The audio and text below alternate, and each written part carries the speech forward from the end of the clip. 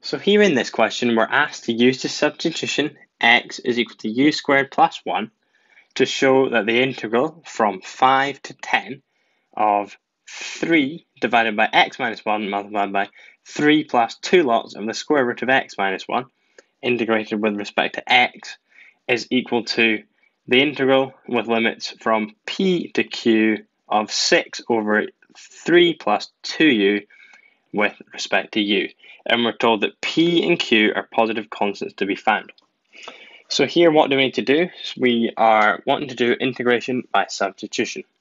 So how do we begin this? Well, we know that the substitution that we've been asked to do is to use x is equal to u squared plus 1. So what do we do here? Well, what we're going to do is we're going to rearrange for u, and then we're going to differentiate that, and then that will give us an expression in terms of dx, which we can then substitute back into our original expression, and then we'll aim to replace these x's here with u, which will then get into some sort of form which we're after.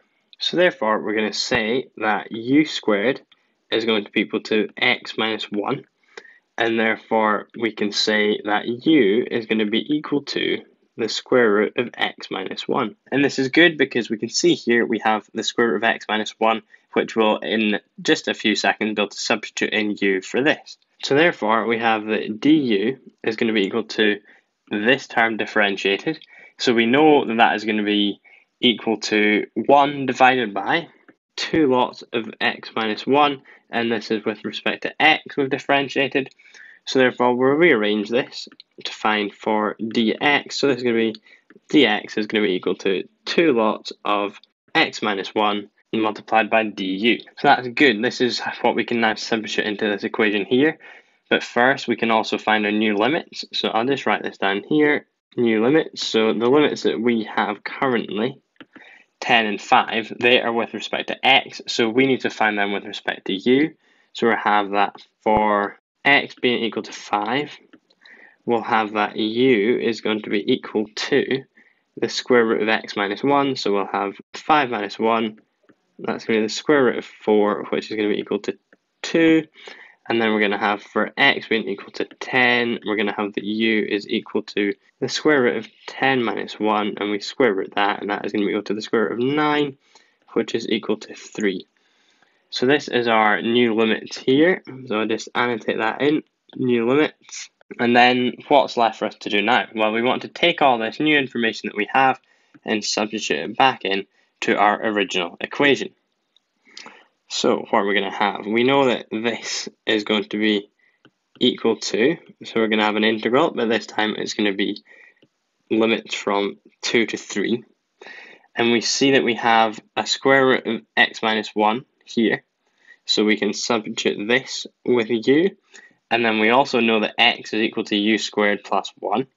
So we can substitute in u squared plus 1 here. So then we also know that dx is going to be equal to 2 lots of the square root of x minus 1 multiplied by du.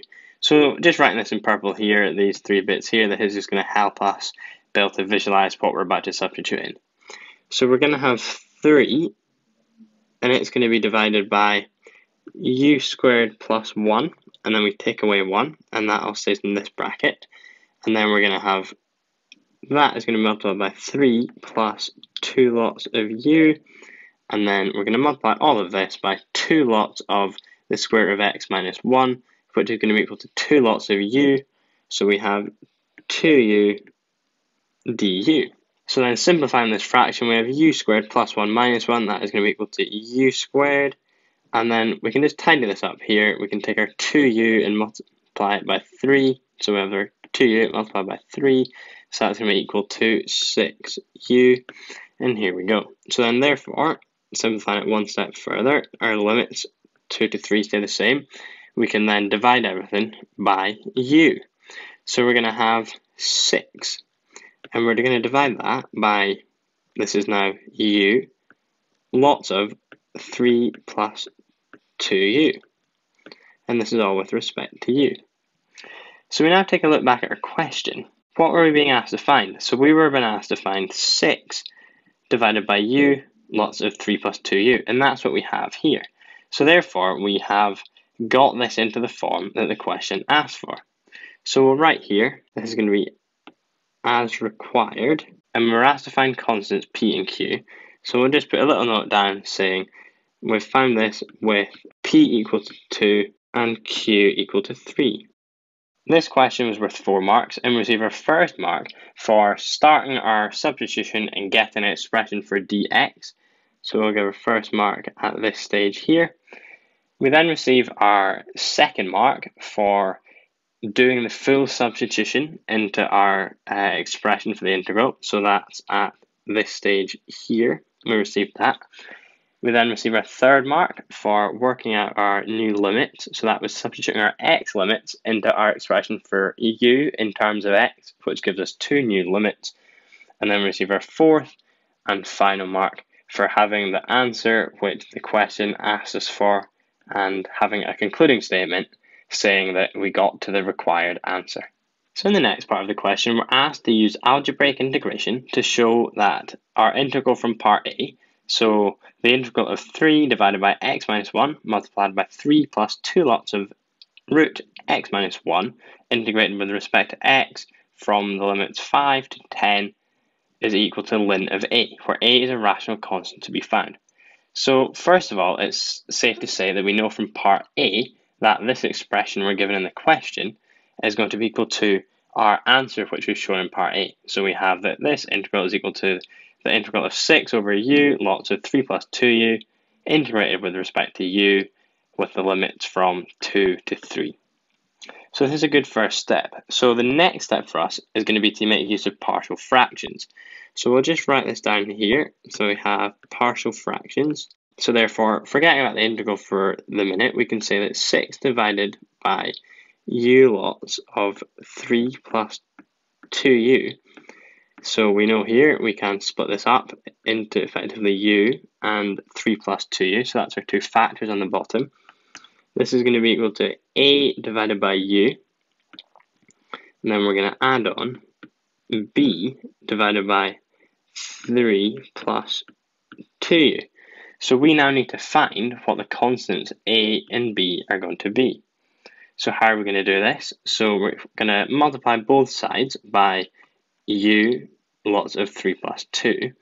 So therefore, this is going to leave us with the fact that 6 is going to be equal to a lots of 3 plus 2u, and then we're going to add in b lots of u. So then what we can say is if we let u equal 0, we'll have that 6 is going to be equal to 3 lots of a plus 0 lots of b. So that then means here we can say that a is going to be equal to 6 over 3, which is 2. And then if we now let u be equal to 1, we're going to have that 6 is going to be equal to so here, what do we have? So we now know that A is 2. So we're going to have two lots of 3 plus two lots of 1. So that is 3 plus 2, 5 multiplied by 2. So we're going to have that that is equal to 10. And then we're going to add on b multiplied by u. u is now equal to 1. So that's going to be plus b. So then what does this leave us with? So this is going to leave us with the fact that b is going to be equal to 6 minus 10, which is equal to minus 4. So therefore, what can we say? So we can say that, well, we know what this expression is going to be equal to. So we have as follows. So we copy down our expression from above, and we've worked out that a is equal to 2 minus 4 over 3 plus 2u. So therefore, what we can do now, remember we're wanting to use integration here. So what we can do is we know that this here is equivalent to this. So then if we take the integral of it, we know that this is also going to be the equivalent of 3 and 2. So now we know how to integrate this. So we integrate with respect to u. We know that the integral of 2 over u is going to be 2 lots of ln u. So then for this second term, we are going to have, I'll just write it off to the side here. So we're going to have the integral of negative 4 multiplied by 1 over 3 plus 2u du. And what's this going to be equal to? So it's going to be equal to negative 4. And then we multiply that by ln of 3 plus 2u And then we must also divide by 3 plus 2u differentiated, which is equal to 2. So therefore, that's going to be equal to negative 2 ln 3 plus 2u. So then we substitute this back into our expression, so that's going to be negative 2 lots of ln 3 plus 2u. And then we still have our limits to put in, so we put our brackets around this here, and we have 3 and 2. So then therefore, we'll just keep our equal sign going down, so we'll have 2 lots of ln of 3 minus 2 lots of ln of 3 plus 2 multiplied by 3, which is going to be ln 9. And we have kind of bigger brackets around here. Then we're going to subtract the same again, but with the limit 2 put in. So that's going to be 2 ln 2. And then this time that's going to be minus 2 ln of 7. So what can we do now? So we'll continue our working and we'll just do it over here slightly to give us a little bit more room. So we can say, we know the log law, we know that if we have ln of a to the power of b, that is going to be equal to b ln of a.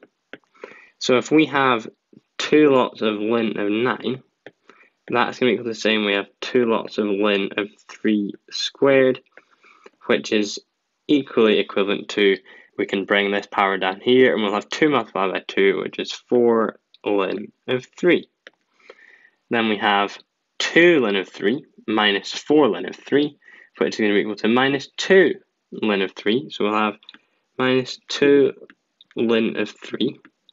Then we'll take a look at this expression on this side. So we'll multiply everything by minus 1, which is going to leave us with minus 2 ln 2, and we're going to add on 2 ln of 7. So remember, what we're looking for here, we're looking for something ln A. So we need to now use log laws to combine these. So we know that log of A plus B is equal to log AB. And we know that log of A minus B is going to be equal to log A over B. So therefore, what can we do now? Well, we can have a look at our first term, and we're going to have that this is going to be 2 ln 7, then we can do one subtraction, so we'll have 2 ln, and then let's go for 7 over 3, and then we'll still have our second term, which is 2 ln 2. Saying the same again, we can then have that this is going to be equivalent to 2 ln of 7, and then we will have 3 multiplied by 2, and then we can simplify this further, which is going to be 2 lots of ln of 7 over 6. So remember we were asked to give something in the form ln a, but we currently have a constant multiplied by ln a. So what can we do? From this log law here, we can bring this power up here and square everything. So that's going to equal to saying that we've got ln lots of 7 over 6. And then we square all of that. So we square both terms, which is going to be equal to ln 49 over 36. And then that is equal to ln A, where A is equal to 49 over 36. So therefore, we've completed this question. This question was worth 6 marks, and we receive our first mark for knowing to use partial fractions and stating the values of A and B. So we received this when we stated our values for A and B, so at this stage here. We then received our second mark for having the correct partial fractions. So that was having 2 over u minus 4 over 3 plus 2u. So we received that second mark at this stage here.